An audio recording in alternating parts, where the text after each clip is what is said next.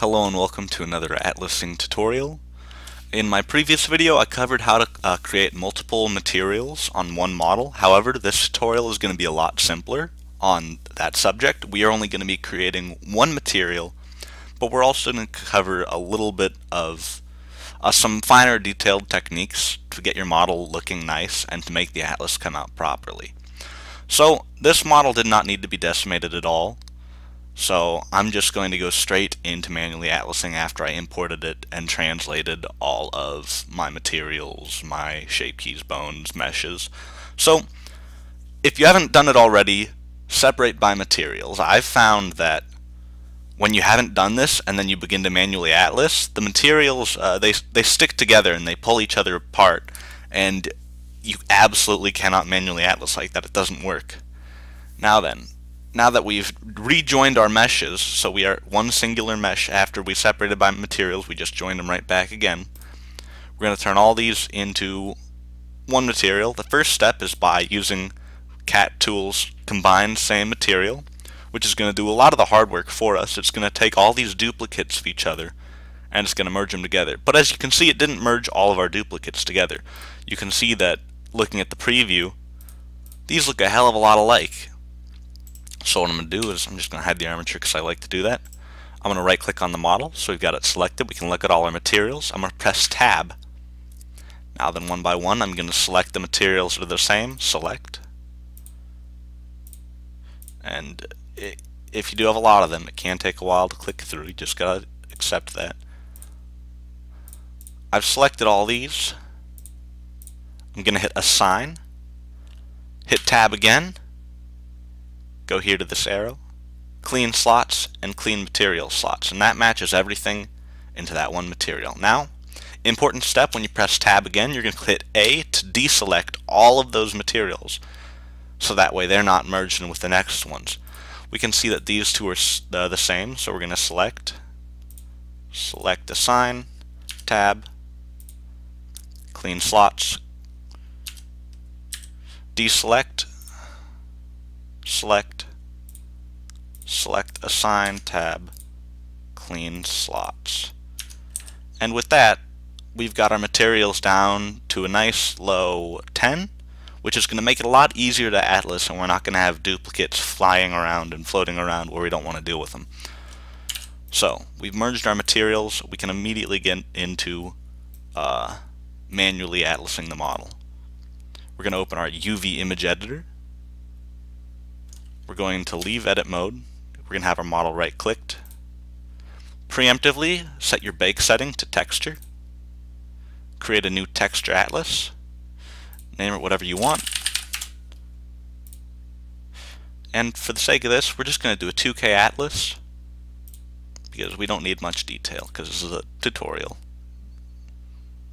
We're going to start manually unwrapping, finish manually unwrapping, right click our model, hit tab, and go down to keep UV in edit mode, mesh in sync.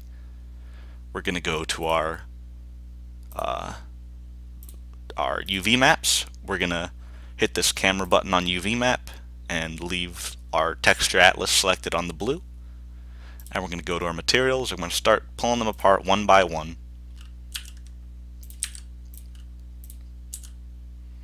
And just arranging them into a general square shape.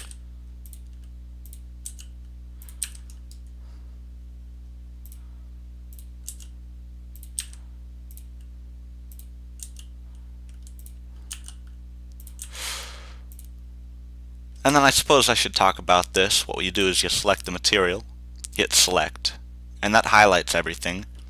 You can move the material by hitting G. You don't have to hold it, you just hit G, move it and then you left click to place it.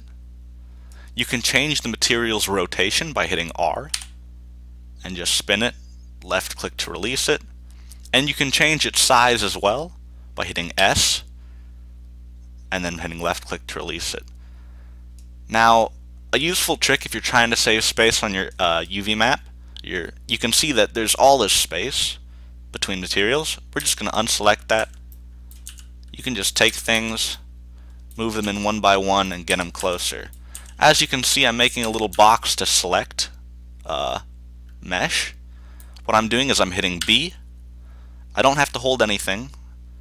I do hold left button though once I do this, and then I release and I select within that box. I can deselect everything I have selected again by hitting A. Another selection method will be to use hold control and hold left mouse button and you can use the lasso selection tool. And those are typically all I use to select. You can of course scroll in and out with your mouse wheel. Now then, we've moved that. We're going to select the face, move that over, the body, move that, and you're good right there. And this is going to be an incredibly unoptimized atlas. I'm not going to bother getting the fine details out of everything. All you need to know is, if you want detail, make it larger. If it's something like a flat color or texture, make it smaller. For example, uh, this right here, this skin tone, it's not very highly detailed. You can make that shit tiny. I'll just give an example of how small you can make it even on 2K Atlas. Like that, that's fine. And remember, all our textures are applying correctly because we went and we set the UV map as what we're basing the render on. Now, one thing that occurs on models in VRChat is they will have a line down their face in mirrors, and other people might see that as well, that line that shows up. Uh, that's one of these annoying problems that come with the fact that MMD models typically have their face textured on one side and it's mirrored to one mirrored to the other side. And uh, that's how it's handled. But we we don't necessarily want this. So I'm going to go I'm going to select the face. I could of course if I wanted to use my box select and select the face. And I'm going to hit control I select everything other than the face, and hit H to hide it. I'm going to hit A just to select everything here. Now then, uh, I'm forgetting something. No, I'm not. Sorry, I want to deselect it. I want to deselect it. And we're going to go to the face here, and we're going to be able to unwrap it. Because as you can see, it doesn't really have any good place that it can pull apart and say, here are the clear lines in the face, because you want the face to have both sides so it doesn't have that line down the middle. What we're going to do is we're going to go, okay, let me move this over. Right here, we're selected on vertex select. So when I right click, you see I'm selecting the little dots. We're going to go to edge select. Now holding shift, we're going to right click on edges up to about here because you can see that the face starts to get a little bit tighter and a little bit more neat right here. We're going to hit spacebar, type in mark, and select UV mark seam. Once we've selected that, we can just hit A, and then we can hit E to unwrap the face. Shrink that down to size, don't care about details, and we can just bake that in back like normal. At this point, you have all your textures, you got an unwrapped face. Uh, something that I'd like to mention is, uh, oh, let me unhide all that. Alt-H to unhide everything you have hidden, and that's everything you have hidden. So be aware of that if you've got armature hidden, because I like to hide my armature while I'm working on the model. So right here we've got, I'd like to point this out, if you've got shadows over like your forehead, uh, they're not really showing up though, uh, right here. They might uh, act strange if you've just got it all in one material like cut out. So just be aware of those and consider deleting those if you're not going to use them. Because if I just pulled this off the model, that's a whole lot more space I've got on my UV map.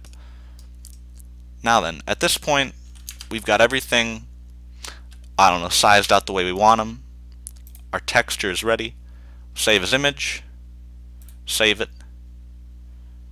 Now that we've saved our texture atlas, we can go to our materials, delete everything, create a new material, name it whatever you want, create a texture for that material, name it whatever you want, and we're going to open our atlas, hit N, scroll down, hit shadeless. And there we have our model. Now you're going to notice that this isn't transparent. It's supposed to be transparent. That's because you got to go to texture. Uh, it was under influence. Turn on alpha. So it goes black. Anything that was transparent goes black. Go back to materials. Go to transparency. Turn it on. And set alpha to zero. And as you can see, that is all now transparent as it should look when you put it in Unity.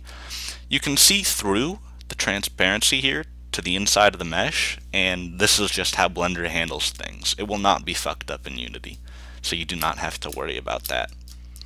And at this point, I don't know, add your eye tracking, add your visemes, nothing to worry about. But I'd like to cover another brief thing. Oh wait, no, no, sorry, I almost covered something, I almost missed something very important.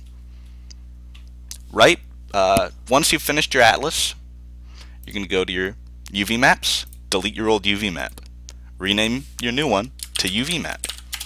And I almost missed the important step that Tupper missed on his big ass 30 minute video. Alright, now I'm going to cover the thing that I did want to cover, and that would be, and at this point your model can be exported, at, uh, this would be uh, more unwrapping. So you can see here I've got my my finished atlas, but the thing is if I hit A, you can see I've got these two dots, and they don't seem to have any colors applied to them. And I can tell you from experience, these two dots do not apply to uh, just a solid black texture. That's That one's not a good one to demonstrate with. This is the uh, little like shines on the eye. And as it happens, those are white, not black. Now, why does it do this? Uh, it's because it's a single color unwrapped texture. Now, unwrapping, I think we covered that. Indeed, we did. Simply select that dot and hit E. And as you can see, oh, I had something else selected when I hit it, unwrap. So now I've only got that selected. Remember, you can Control Z to go back. I hit E, and now I've got those on a much more detailed uh, shape. And if I bake that, you can see it now has the correct color. And it's a flat color as well, which means if you really wanted to, and I don't blame you if you do, you can shrink that way down and lose no detail. Now I've got a couple other things to unwrap here. Let me actually, there we go, unwrap. That's just a line, I don't need to worry too much about that. And then the whites of the eyes, as you can see, uh, if I use this texture atlas as it was, uh, it's not fully mapped because it's a piece of shit. Just like that, unwrap it, and it's just a solid white, so I can just leave it as is. Everything's ready, I can bake it, I can save it. I don't have this avatar saved anything because I just wanted to demonstrate unwrapping single vertexes, vertices, on single color maps. And that should about cover it for the video. Please optimize.